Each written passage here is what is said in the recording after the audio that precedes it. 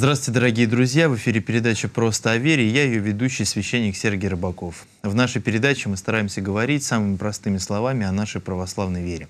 Сегодня у нас в гостях клирик Петропавловского собора, отец Николай Зинин. Здравствуйте, батюшка. Здравствуйте.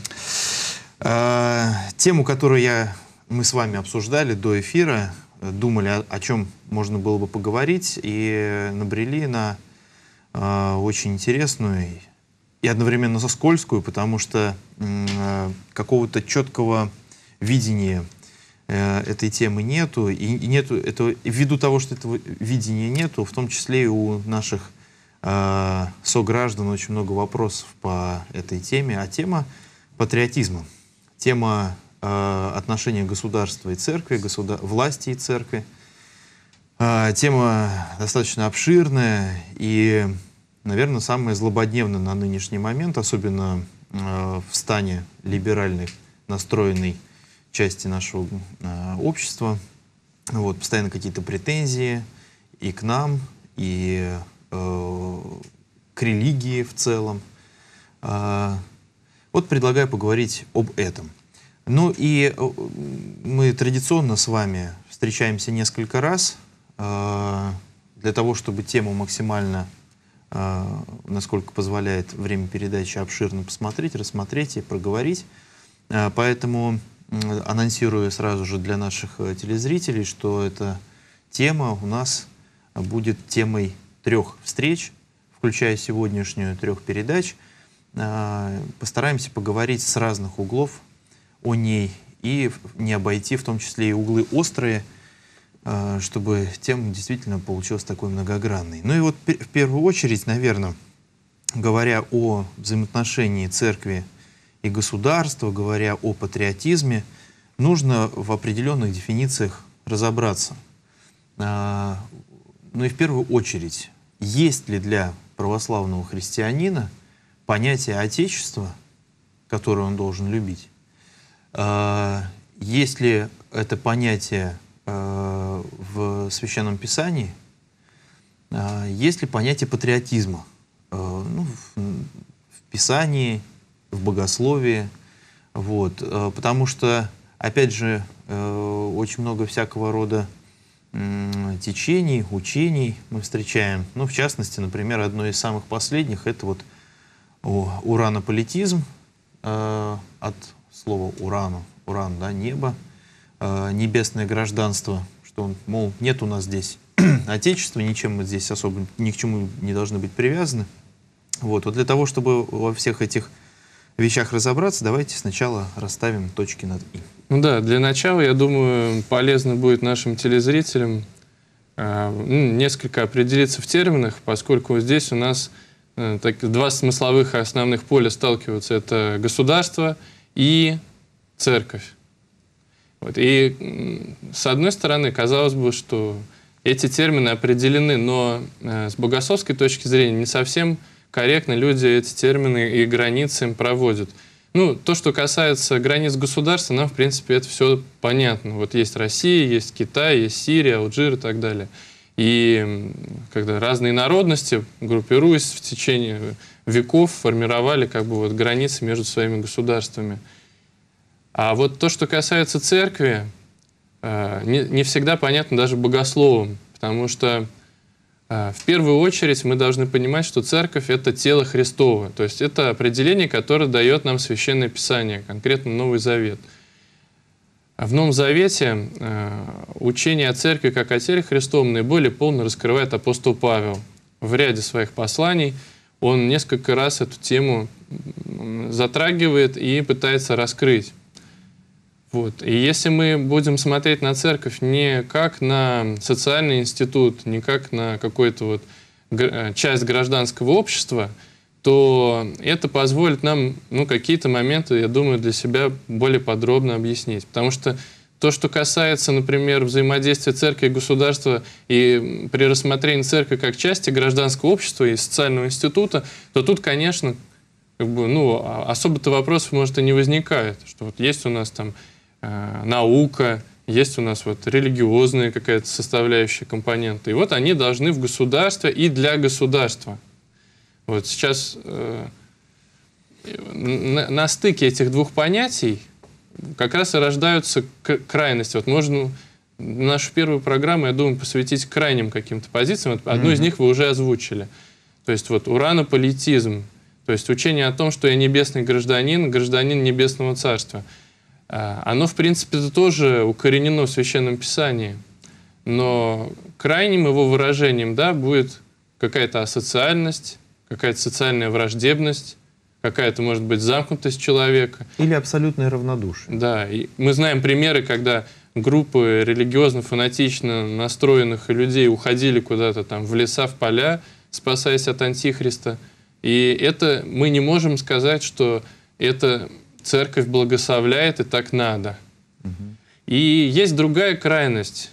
То есть мы в этой точке зрения мы видим до абсурда доведенную вот одну из идей священного писания что я гражданин Небесного Царства. О ней, я думаю, тоже стоит поговорить. Но, но пока... в виду цитата, а, что мы небе, Града Небесного взыскуем, да, что нет у нас здесь Града, мы Града Небесного ну, взыскуем. Там ряд, на самом деле, и в Новом, и в Евангелии, в словах самого Христа мы часто встречаем, что не копите себе сокровищ на земле, где пропадают, где э, они ржавеют, пропадают, их воруют, а копите сокровища на небе, где ни вор не приближается, и никакая порча не приближается, и это все ваше. То есть вот и есть ряд моментов, на которых, конечно, эту позицию можно обосновать, но мы говорим сейчас о изгибах, да, о перегибах, о фанатичном отношении, которое рождается вот из этих цитат. С другой стороны, мы можем сказать о другом э, таком тоже не менее фанатичном настрое, когда церковь вот, превращает в один из, из институтов общества, гражданского общества, институтов власти в том числе. И говорят, что только с этих позиций она и оправдывает свое существование, только для этого она и нужна, чтобы воспитывать добросовестных, порядочных граждан, которые будут во всем послушны государственному строю, которые будут во всем послушны и не будут как бы проявлять недовольство какими-то фактами. Вот. И, и это тоже перегиб. Угу. То есть мы, э, превращая церковь, не сводя ее до статуса социального института, мы теряем вообще, по сути, понятие церкви. Оно перестает восприниматься человеком как тело Христово, оно перестает восприниматься как храм Божий, а апостол Павел говорит, храм Божий — это вы. Угу. Поэтому моя точка зрения, она в том, что мы должны попробовать вот между этими двумя чудовищами, с Цилой и Харибдой провести линию своей мысли и избежать крайностей, но и увидеть нужности, полезности этой точки зрения и противоположной. Ну, как вы уже сказали, и то, и другое можно э, обосновать, то есть сделать такую подложку из э, священного писания. То есть можно э, набрать э, ряд цитат для того, чтобы оправдать уранополитизм, можно набрать э, цитат из того же апостола Павла главным образом, э, там, скажем, «всякая власть от Бога» и так далее, и так далее, э, которые будут служить подложкой под э, ну, то, что сейчас называется ура-патриотизм, э, то есть когда действительно, как вы правильно сказали, э, церковь становится институтом воспитывающим, но воспитывающим не столько целостную гармоничную личность, сколько Э, воспитывающую добропорядочного, послушного, законопослушного э, гражданина. Так вот, э, давайте тогда, ну, у школе вы таков, такой вектор задали, давайте разберемся с некоторыми цитатами тогда, да, то есть как их следует понимать для того, чтобы не уклониться ни в ту, ни в другую сторону. Ну, я думаю, может быть, начнем тогда с точки зрения ну вот, социального института, церкви как социального института. Да, вы уже озвучили эту цитату, наиболее, наверное, известную из Нового Завета, слова апостола Павла, что всякая власть от Бога, повинуйтесь наставникам вашим, покоряйтесь им. А, Молитесь за них. Князь и начальник носит меч не просто так, он поставлен на это место от Бога, и, соответственно, если он наказывает, то наказывает злых, а если ты творишь добро, то тебе и бояться нечего. То есть на самом деле мы видим, что апостол Павел в ряде вот таких цитат пытается как-то ну, возможно, выровнять тот уранополитизм, который, конечно, в его письмах и посланиях он преобладает, явно преобладает. Угу. То есть э, здесь, я думаю, апостол Павел столкнул, столкнулся уже вот в первом, в, в первом веке с такой проблемой, когда христианские общины, видимо, начали воспринимать себя абсолютно неотмирными, и, соответственно, возникали какие-то конфликты глубокие. Но и в этих цитатах мы видим, что апостол Павел пытается христианам донести ту мысль, что социальное как бы, устройство общества, в котором мы существуем, оно не случайно. То есть оно тоже имеет некую пользу для общества, потому что не все христиане, потому что не все пока благую весть восприняли и э, какие-то институты там социальные, карательные власти, да, там исполнительные и так далее, они тоже имеют положительную функцию. Мы с вами, например, э, можем вспомнить такой исторический факт, когда князь Владимир, приняв крещение, отменяет на Руси смертную казнь. И, если я не ошибаюсь, это было первое государство в Европе, Киевская Русь, которое как бы на такие меры угу. достаточно либеральные пошла. И что мы видим? там, буквально через очень короткий промежуток времени князь Владимир уговаривает возобновить смертную казнь, потому что разгул преступности стал просто чудовищный масштабы принял. То есть вот мы видим тут опять столкновение какой-то христианской максимы о том, что, ну, хорошая же вещь, отмена смертной казни, с незрелым отношением самого общества, которое далеко не все, конечно, христианское, к этой благой вести. Mm-hmm. Мы видим как бы отрицательные, гибельные плоды, хотя, казалось бы, угу. это же э, должно было послужить благу. Государство испытывает, как бы, и общество в целом испытывает какие-то муки. Вот, вот этот баланс мы видим, да, уравновешивающие цитаты. И также мы можем, э, конечно, основу цитаты Священного Писания для этой точки зрения, для церкви как социального института, я думаю, будет составлять Ветхий Завет все-таки. Угу. Мы с вами знаем, там, ну и последние книги Ветхого Завета, книги Маковеев, история борьбы за захватчиками там, израильского народа. И псалмы Давида. Я думаю, там широкий материал о том, что врагов надо побеждать. Господи, благослови э, наш бой вот здесь за святую землю, за свою родину. То есть вот я думаю, такие глубинные отношения к родине, к отчизне, как к тому, что надо отвоевывать и завоевывать – оно коренится глубоко в Ветхом Завете. Вот она, земля обетованная, но эти народы, которые заселяют, вы должны их победить. То есть мы видим как бы в истории Ветхого Завета э, иногда даже прямой, прямое указание Бога, чтобы эту войну вести. Прямое указание и благословение, и то, что я буду с вами, и буду вам помогать побеждать. И, соответственно, эта земля обетованная будет ваша. Ну и тогда, получается, встает вопрос, э, всякая ли война священна?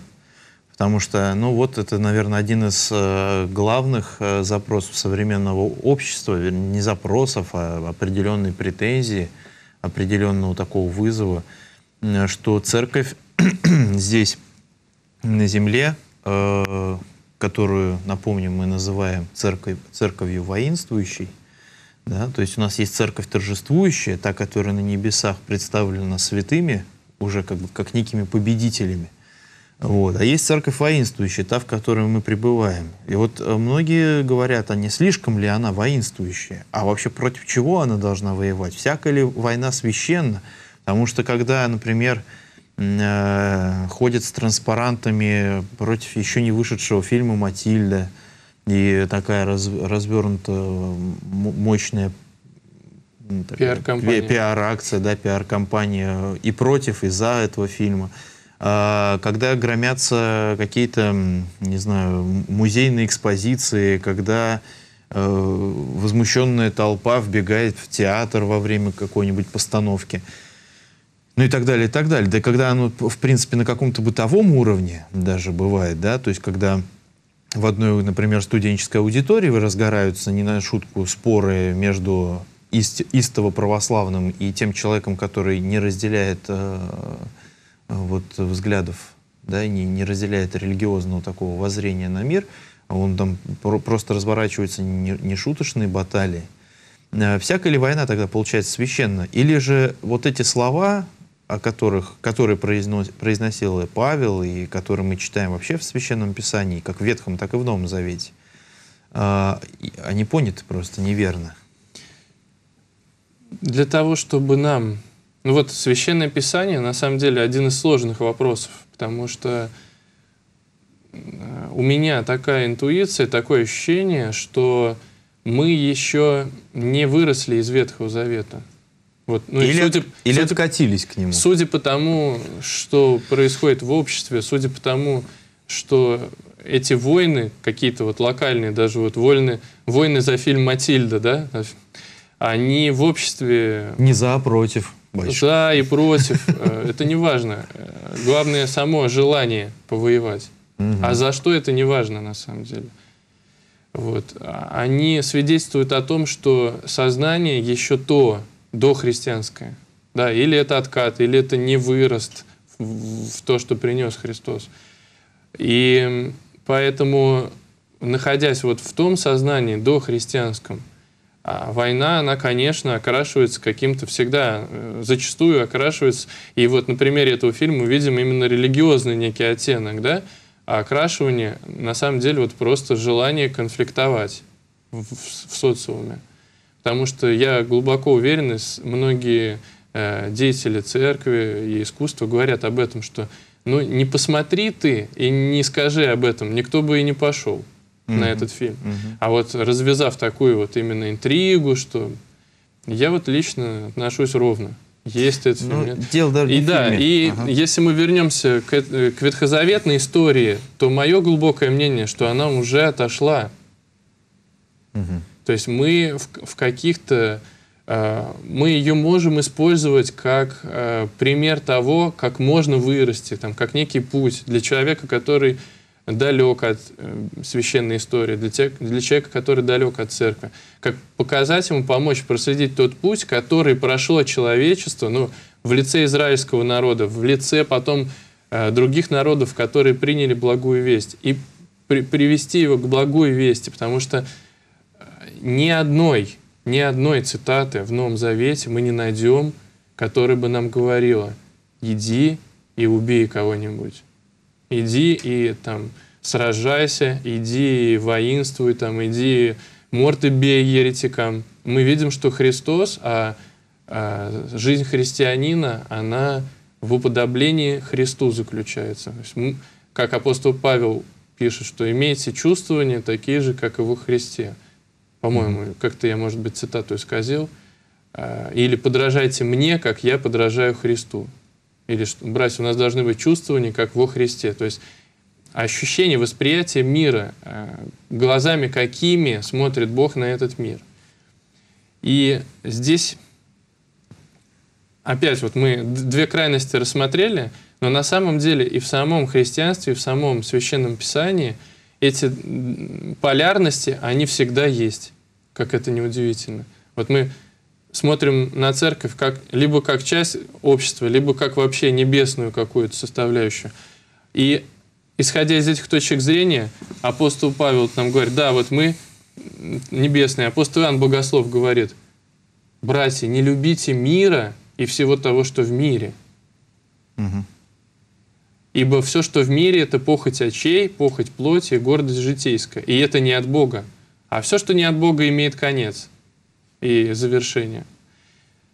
Как я могу любить Отечество, если апостол Иоанн Богослов мне говорит, не люби ничего, что в мире. Угу.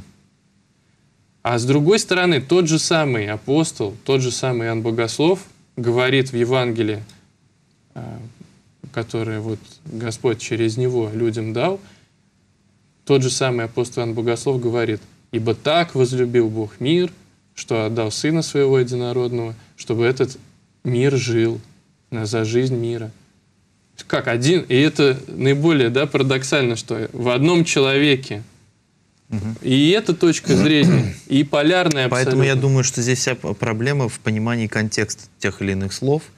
Вот. И как раз в не чуткости прочтения Священного Писания со стороны тех, кто э, эти цитаты так или иначе искажает. Часто они это делают совершенно не по злой воле, то есть это не злонамеренно. Сейчас вот я подведу, и тогда мне можно взять там цепь, камень, я пойду громить, бомбить и так далее. А отсутствует чуткость слуха. А чут, а, то есть а, а чуткость слуха нужна для того, даже не то, чтобы э, э, слышать, да, чтобы вообще раз слышать и уметь откликнуться на этот зов. Так вот, на мой взгляд, э, вот эта вот идея того, с чего вы начали, что э, церковь — это тело Христово, и вообще, если обратиться к э, греческому термину «церковь» и «клессия», обычно мы его переводим как «собрание», но там э, имеются некоторые э, лингвистические нюансы. Вот этот вот э, первый там предлог, как его назовем, не знаю, э, эк, эк, он э, э, пишется и употребляется в значении э, выборки. То есть вы выбраны из мира. Это те, кто вышли из ряда вон, как пел, да, Виктор ну, Можно тогда собранные, да? Да, то есть но собранные Богом, да, то есть выбранные. А, у Кураева в свое время, а, отца Андрея, у него была интересная на эту тему а, аналогия. Он говорит, был, был какой-то фантастический роман, я сейчас его не вспомню, но смысл такой, что все народы, вернее, э, инопланетяне спустились, фантастический такой, антиутопия, некие инопланетяне спустились и научили э, телепатии вот, людей. И понятное дело, что если ты умеешь читать мысли, то есть вот эти телепаты, они пробрались к власти, они стали самыми могущественными, потому что они умели угадывать желания начальствующих. И вот, когда они встретились там на каком-то саммите, условно говоря, телепаты, да, то есть все политики приехали, вдруг они начали читать мысли друг друга и поняли, что и этот телепат, и тот телепат, и у них возникло желание э, создать некую школу э, телепатов, то есть объединить всех тех, кто еще э, как бы о своих способностях не знает. Тогда они в университете, но сказать об этом вслух нельзя, нельзя себя обнаружить. Тогда они в университетах делали следующим образом. Садился в какой-то кабинет человек, и он посылал сигнал, что вот пройдите, скажем, в какую-то аудиторию, вот, для встречи там, с тем-то с тем-то. И когда э, студенты, э, студенты, которые расслышивали этот голос в себе, они слышали, думали, что они слышат какой-то транслятор или радио, и они шли туда, их тут же, соответственно, вязали. И вот Кураев говорит, что э, вот это очень похоже на то, что делает Христос. То есть э, обращение Бога идет ко всем, но только те, кто умеют расслышать то, о чем он говорит, те, кто из ряда вон выходит, он их как бы собирает в церковь. То есть, вот, экклесия — это такая выборка вот, людей.